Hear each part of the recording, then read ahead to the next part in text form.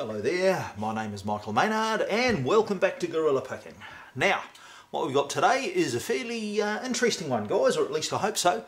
Um, we're going to try and out of the packet pick on um, a lock which has been giving some people some problems. So um, what we, I think anyway, what we've got in here um, is a Lockwood 334 padlock um, which won't open. So it's keyless.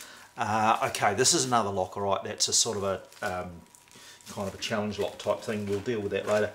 Um, but what I think is in here is a Lockwood padlock that hasn't got a key and some guys who um, know what they're doing haven't been able to pick it. So there's obviously some sort of issue with this.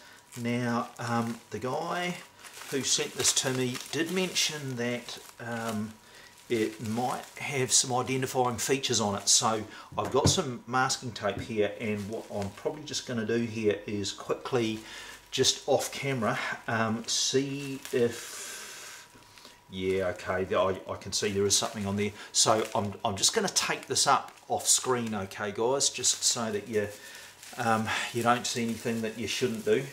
Um, it I'm just kind of talking as I go here. Uh, it's well wrapped up. It does. right, it's got a wee message to me written on it. Just give me a second here, and we'll um, we'll tape up the bits that you that you really don't need to see, and then I'll show you the message.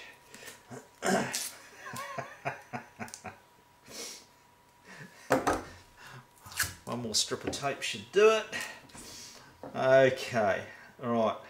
Um, oh, and there's the guy's username there. I'll, I'll just put a bit of tape over that as well.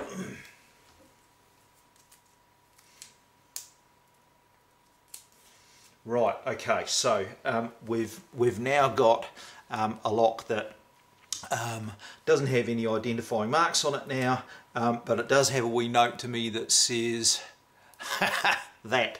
So I think we can now guess why we're going to have trouble getting into this lock. But um, let's, I guess we're making an assumption there. So nobody's been able to get into this, okay, and the assumption is that it's a bitting issue, but whether or not that's true, we will discover as we get into it.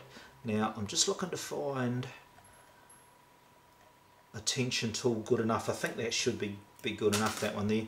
Um, I pick these a little bit differently to most guys. So um, most guys use very light tension on these. I, I don't tend to do that. I actually tend to use quite heavy tension. So we shall see what we find.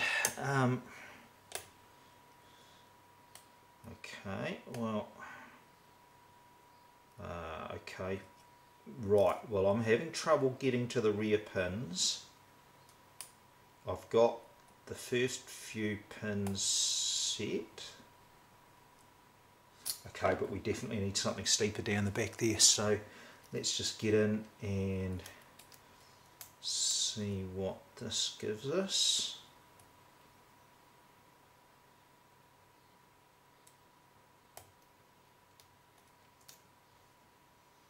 Okay, I've got got a few pins set here.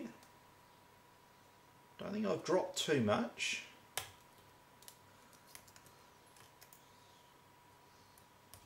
I do think there's something down the back I haven't been able to get to yet. So we might actually need to get in there with my steepest problem solving pick which is the good old Peterson number five hook.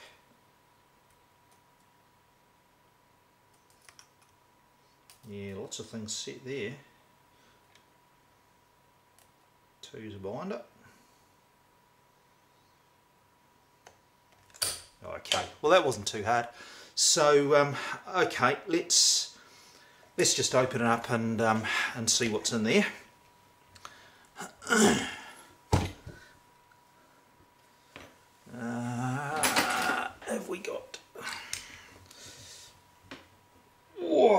Jesus Christ, I can't get that open.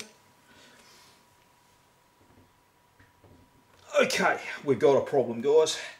Um, that that's in there to stay. I'm going to get another screwdriver. Just give me a give me a second here. If this doesn't work, we'll use an electric screwdriver. Oh yeah, yeah, we're in.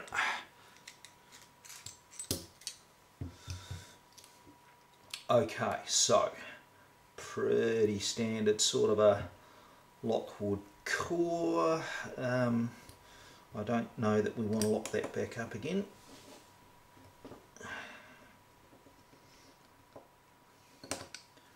Let's get the tail piece off of there.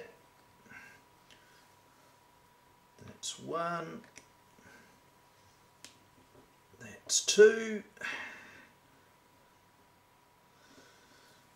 Well, this might end up being a quicker video than I thought it was going to be, guys. Um, I was kind of hoping and envisaging this might be a, a, bit of a tricky one, but um, looks like it's ended up as, as being a wee bit of an easy beat, I think.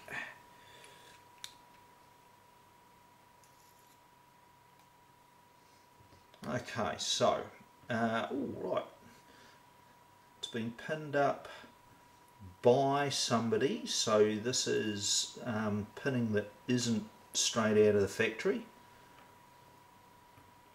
Six pins and the drivers I think probably are just going to be the thin lip spools yeah one two three four, five, and one to come. Six. All right, well, um, I'm surprised that it was as easy as it was. Um, but I, I, guess what we learnt there was that there is a bit of a trick to um, picking these Lockwood 334s. Um, you need good control of the tension. So like I said, I use much higher tension picking locks than virtually every other guy I know really. Um, so you need a, a, tension tool that is going to fit in there and, and give you real good control. Um, then you need a pick which um, you trust so you need to be able to understand the feedback obviously and um, that's what this short hook that Tiffany made for me is all about and then for the occasional locks where you can't get in, where the bitting is a little bit tricky, um, you need something slightly steeper. So I've got um, the, the three hooks that I use for almost all locks uh, this one here, this is my Tiffany. It's it's based on a Tron, although Tiffany has um, modified that heavily and, and done his own thing there.